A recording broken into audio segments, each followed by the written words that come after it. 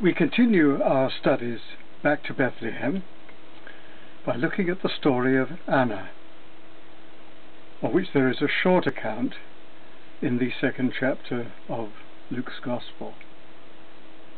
And because it is so brief, I will just add a couple of other readings from the Old Testament. We begin with a reference to the birth of one of Jacob's sons. In the 30th chapter of the book of Genesis, and verse 12, we read, And Leah's maid Zilpah bore Jacob a second son. Then Leah said, I am happy, for the daughters will call me blessed. So she called his name Asher. And then we move on to the Song of Moses near the end of his life as he gave descriptive accounts of the sons of Jacob or Israel. And he says this in Deuteronomy 33 verse 24 and of Asher he said, Asher is most blessed of sons, let him be favoured by his brothers, let him dip his foot in oil. Your sandals shall be iron and bronze, as your days, so shall your strength be. And then we move to the New Testament itself and read this from the second chapter of Luke's Gospel. Luke chapter 2 verse 36. Now there was one, Anna, a prophetess, the daughter of Phanuel, of the tribe of Asher. She was of a great age, and had lived with a husband seven years from her virginity.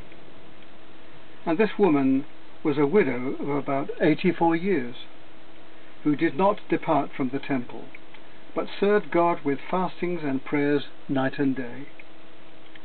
And coming in at that instant, that is, as Simeon was uttering his wonderful words, which we know as the Nunc coming in at that instant she gave thanks to the Lord and spoke of him to all those who looked for redemption in Jerusalem. And then, since this episode has particular significance for Christian women, our sisters in Christ, I'd like to read a hymn by one of the most uh, wonderful Christian hymn writers among the ladies in our hymn book, Frances Ridley Havergal who wrote, Lord, speak to me, that I may speak in living echoes of thy tone. As thou hast sought, so let me seek thy erring children, lost and lone. O lead me, Lord, that I may lead the wandering and the wavering feet. O feed me, Lord, that I may feed thy hungering ones with manna sweet. O strengthen me, that while I stand firm on the rock and strong in thee, I may stretch out a loving hand to wrestlers with the troubled sea. O teach me, Lord, that I may teach the precious things thou dost impart, and wing my words that they may reach the hidden depths of many a heart. O give thine own sweet rest to me, that I may speak with soothing power, a word in season as from thee, to weary ones in needful hour. O fill me with thy fullness, Lord, until my very heart o'erflow, in kindling thought and glowing word, thy love to tell, thy praise to show. O use me, Lord, use even me, just as thou wilt, and when, and where, until thy blessed face I see, thy rest, thy joy, thy glory share. Wonderful words. And I think Frances Ridley Havergal is my favourite lady hymn writer of all time. There are many others, but she very particularly. Now, after Mary, Anna, the widowed prophetess, has the honour of being the first recorded woman to have met Jesus. Although we are told little about her, every word is inspiring and instructive. First of all, we consider Anna's name. It is common knowledge that Bible names often reflect some truth about God. Anna is the Greek form of the Hebrew Hannah, meaning grace.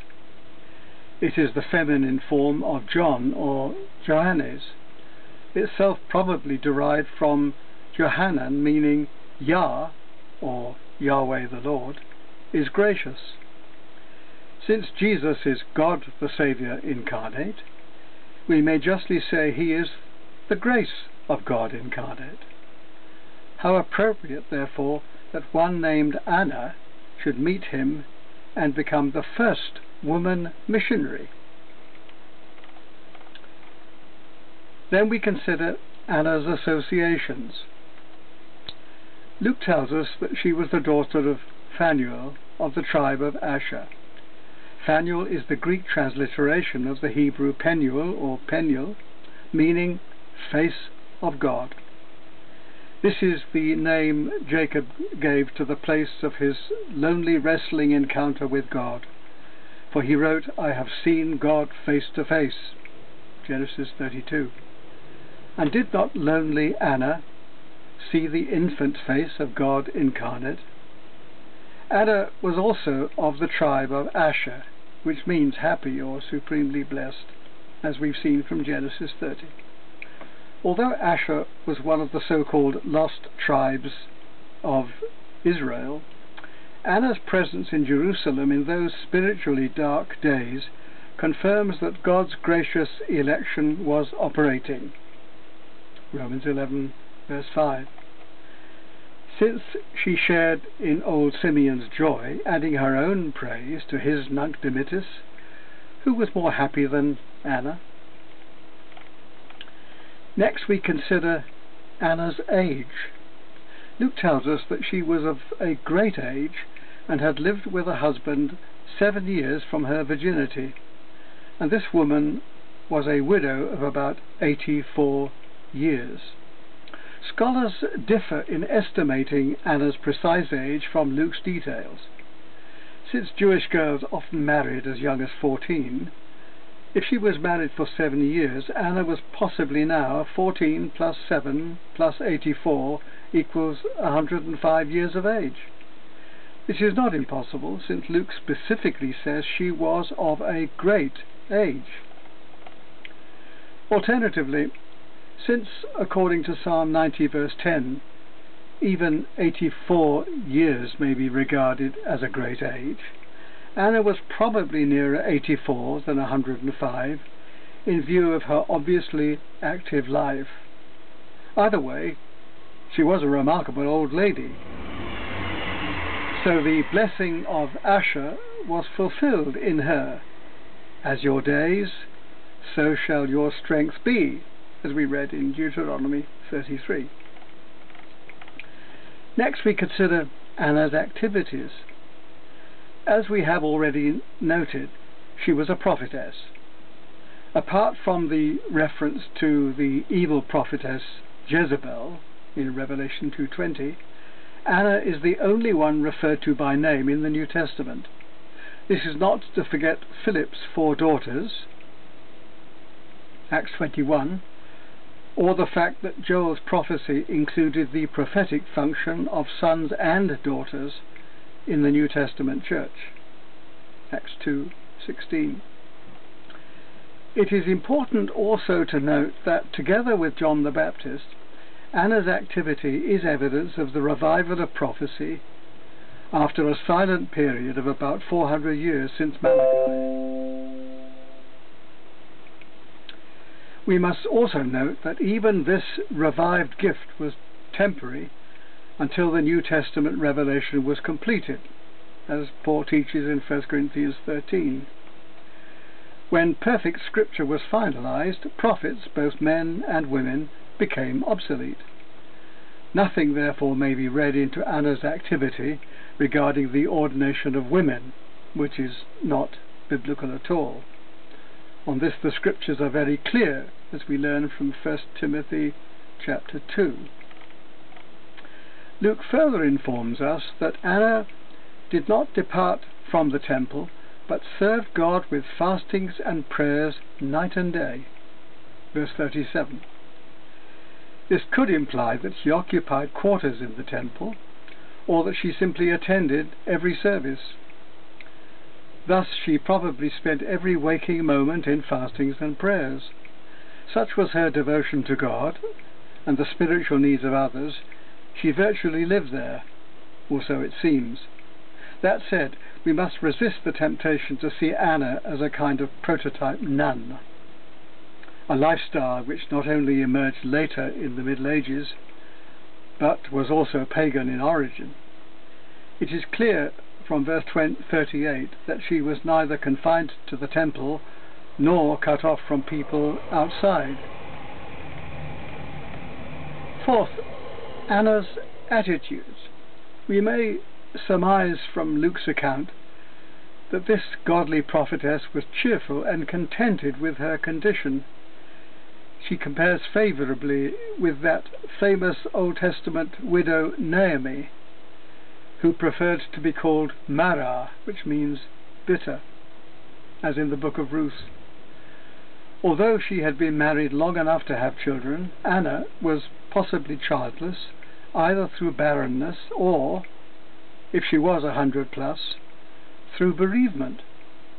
In any event, she exhibited no bitterness or resentment towards God or others.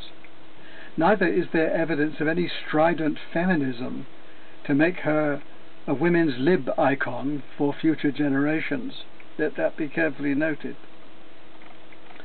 Furthermore, unlike distrustful Naomi, who, with her husband and sons, left Israel in hard times, Anna did not forsake the land of promise. On the contrary, the God of Israel was her refuge, and his temple was her home. She knew that the God who cares for widows, which is frequently taught in the Old Testament, Psalm 68 and 146 and Proverbs 15, she knew that the God who cares for widows would meet her every need. Of course, after her husband's death, she was free to marry again, as in Romans 7. Whether or not another man had found her attractive, her decision to remain single does not imply that she thought God's good gift of marriage was spiritually inferior. However brief had been her happiness, Anna had known and enjoyed, possibly, such love from a man whom she felt was irreplaceable. It is no less possible that she might have had an unhappy marriage. Thus she perhaps preferred to be single than sorry.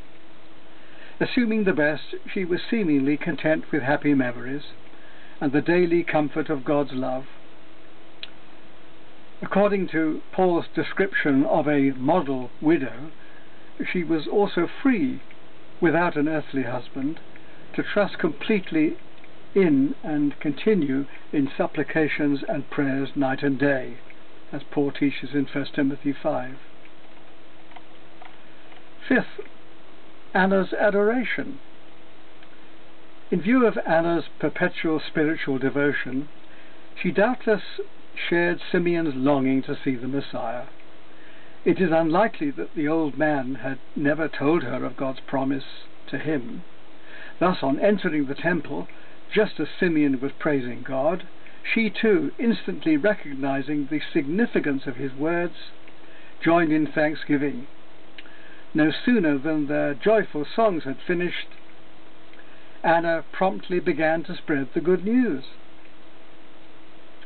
Whether or not she gave thanks to the Lord or to God, Luke's language clearly indicates that Anna knew that the babe in Simeon's arms was God incarnate. While many in Israel looked for a military Messiah, there were others besides Simeon and Anna who knew that their greatest need was redemption. That's the word that Luke uses. Redemption not from the Romans, but from the ruin of sin and the power of Satan. Now that the Lord has suddenly come to his temple, as the prophet Malachi said he would, Anna was quick to share with her friends in Jerusalem the arrival of their blessed Redeemer. Despite the paucity of information about Anna, we know enough to see her as a precursor of the numerous godly women who have graced the pages of Christian history. The long list includes Augustine's mother Monica, Luther's widow Katie, the heroic Norwich martyr Cicely Ormes, Richard Baxter's wife Margaret, Philip Doddridge's widow Mercy, Susanna Wesley, the mother of Methodism, as she was called, Selina, Countess of Huntingdon, and many others, not to forget missionaries like Mary Slessor and Gladys Aylward. Perhaps Anna's piety shines with most eloquent beauty in the hymns of Anne Steele, who wrote Father of Mercies in Thy Word, What Endless Glory Shines, Adelaide Procter, who wrote my God, I thank thee, who hast made the earth so bright. Frances Ridley Havergal, who wrote, Lord, speak to me that I may speak. We began with her wonderful hymn. Jean Sophia Pigott, who wrote, Thou whose name is called Jesus. What a glorious hymn about the Christian life that hymn is. And then Cecil Frances Alexander, author of the well-known There is a Green Hill Far Away.